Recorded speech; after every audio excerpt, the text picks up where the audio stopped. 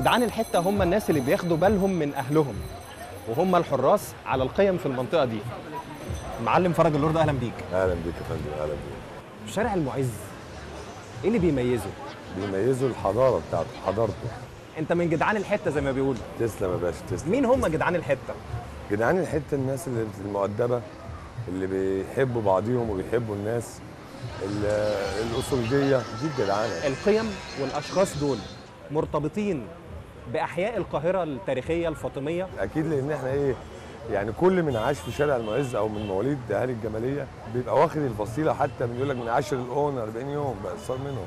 إيه حكاياتك عن شارع المعز وحكايات جدودك عنه؟ جدودي كانوا قاعدين في ربع ربع بتوع شارع المعز كله في حي الجمالية كان معمول آثارات معمولة ربع فيها ناس ساكنة فيها. إحنا اتربينا جوه آثار يعني حضارة جوه حضارة.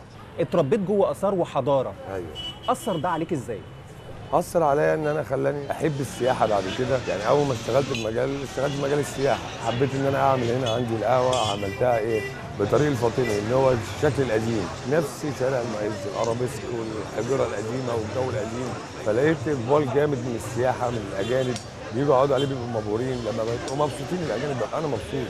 إيه قيمة الآثار الموجودة في شارع المعز وفي الجمالية كلها عند ناسها؟ إحنا عندنا هي حضارة. الحضارة دي معمولة على حجارة فلازم الحفاظ عليها الحفاظ عليها لأن إيه؟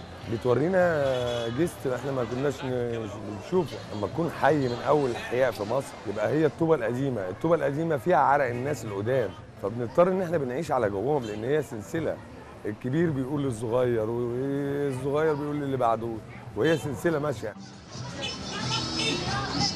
وأنا في الشارع ما كنتش عايز أروح البشر والحجر هنا عندهم ألف حكاية وحكاية.